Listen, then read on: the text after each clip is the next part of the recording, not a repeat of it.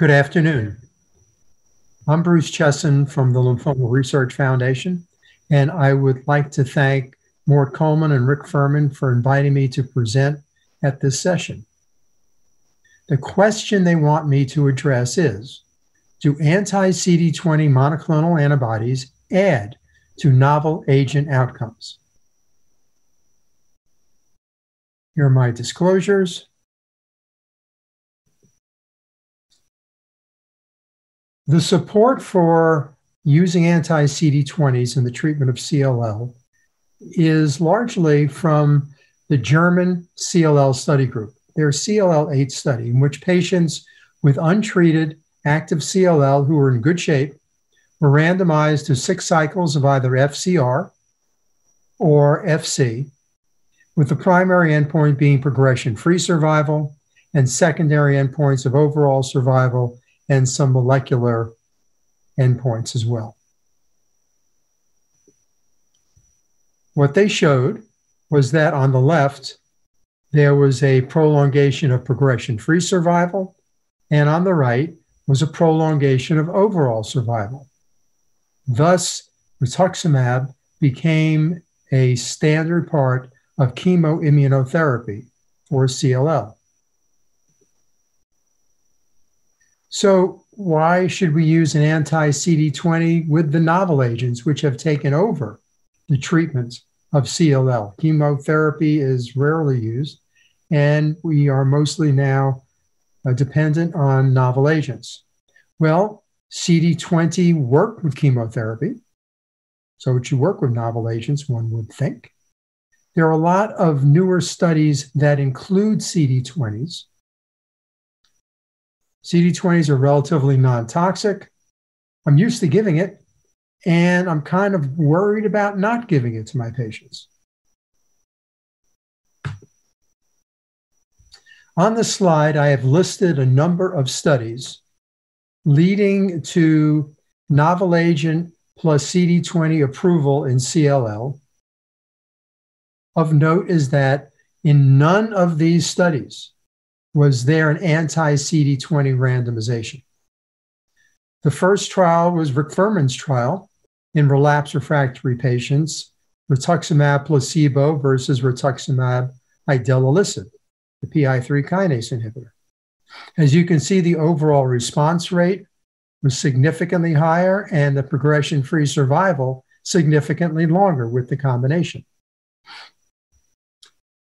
In another Gilead study, in relapse refractory patients, they looked at ofatumumab versus ofatumumab and idelalisib. And again, there was a benefit in response rate and progression free survival.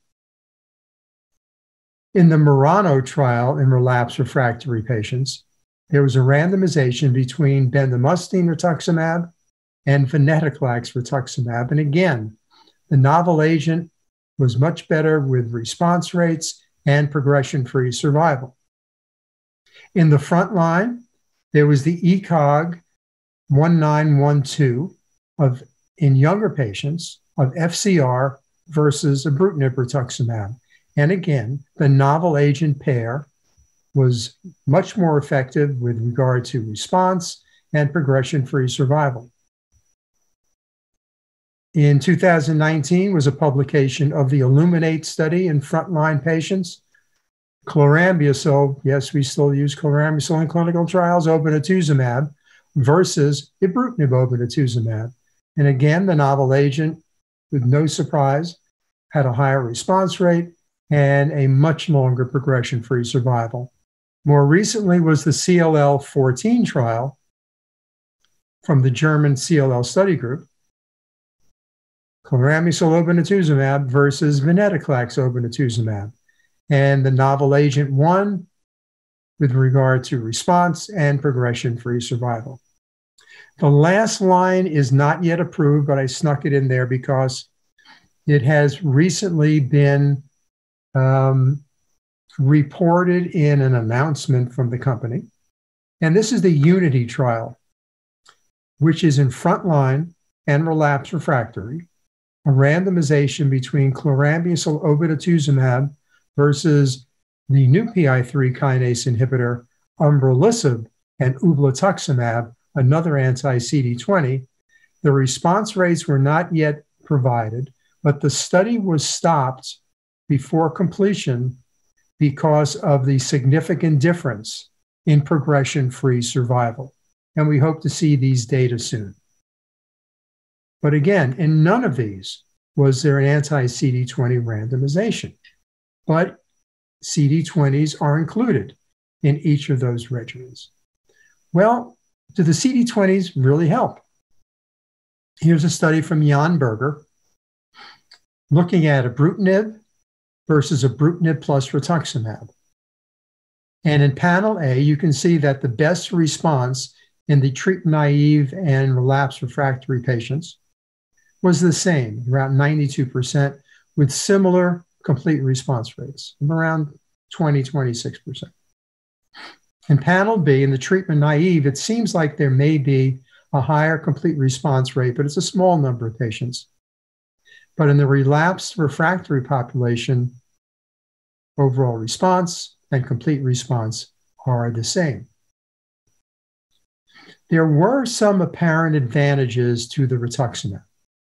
For one thing, you got a faster response. You can see at 12 months, more patients had a complete response when they received rituximab, but at 24 months, it was the same. Looking at the ability to eliminate CLL cells from the bone marrow, it was faster both at 12 and 24 months, although not as notable, when you had rituximab. The absolute lymphocyte came, count came down a bit quicker, the beta 2 microglobulin, no difference. Uh, improvement in hemoglobin and platelets, no difference whether you had rituximab or not. They also looked at minimal residual disease and showed when you compared ibrutinib versus ibrutinib rituximab, there was a significant difference in the amount of eradication of minimal residual disease. But when you look at panel A, which is progression free survival, no difference. When you look at panel B, which is overall survival, no difference. When you look at patients by high risk cytogenetics, 17p and TP53 uh, mutations, there is no difference by rituximab or not. And similarly, there's really not much of a difference when you look at patients with 11q deletions. So the author's conclusion was rituximab really doesn't add very much to the important outcomes. The Alliance led study was in treatment naive patients with CLL, older patients, and it was a randomization between bendamustine rituximab, ibrutinib, and ibrutinib rituximab. Large study, 547 patients. No surprise, the ibrutinib arms were better than BR, but also, as you can see, the progression free survival with or without rituximab was the same. And if you look at these subgroups, this just shows that ibrutinib and rituximab versus ibrutinib were the same. When you look at intermediate or high risk patients, they were the same. Uh, unfavorable cytogenetics, they were the same, whether absent or present. And ZAP70 was pretty much the same, also overlapping uh, the line. So subgroups were no different. When you look at the safety of the two regimens, grade three or worse hematologic adverse events were the same. Grade three or worse non hematologic events the same, grade five events the same, and unexplained deaths were pretty much the same. So, why doesn't rituximab seem to add to a drug like ibrutinib? Well, ibrutinib antagonizes NK cell mediated rituximab dependent ADCC. It antagonizes anti CD20 mediated phagocytosis. It downregulates CD20 expression on CLL cells, and it negatively impacts CDC. Since these are off target effects, perhaps a more specific BTK inhibitor may pair better with a CD20 antibody. In the Elevate treatment naive study, patients were age 65 or older or younger if they had significant comorbidities. And there were 535 patients randomized to acalabrutinib plus obinutuzumab, acalabrutinib monotherapy, or obinutuzumab and chlorambucil, with the primary endpoint being progression-free survival of acala obinutuzumab versus chlorambucil obinutuzumab. Focusing on the two Acala arms, you can see even all three arms, they're well matched with regard to age, uh, performance status, stage, and everything else, including 17p and 11q.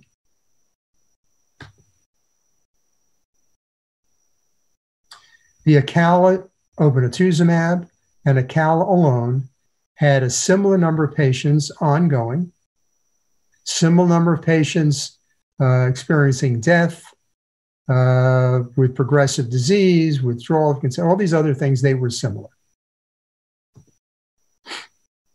And when you look at progression free survival benefit across subgroups, you can see that Acala, obinutuzumab, and Acala are about the same overall, uh, age over 65, uh, with regard to sex, Rai stage, ECOG performance status, bulky disease, 17p, 11q, a mutational status, and complex karyotype.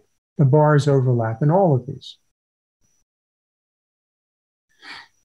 So when you look at response rates, it seems to be a little bit higher with the obinutuzumab. And that's mostly because of an increased number of complete responses. The partial responses are the same at 80 and 84%.